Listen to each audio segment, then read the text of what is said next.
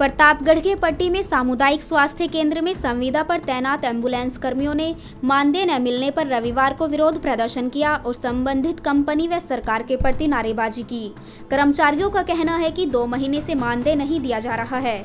अगर 10 तारीख तक भुगतान नहीं किया गया तो 15 तारीख को हड़ताल की जाएगी। इस अवसर पर मोहम्मद यासीन, विक्रम बहादुर सिंह, सुरूर खान सहित सभी संविदा एंबुलेंस कर्मी मौजूद रहे।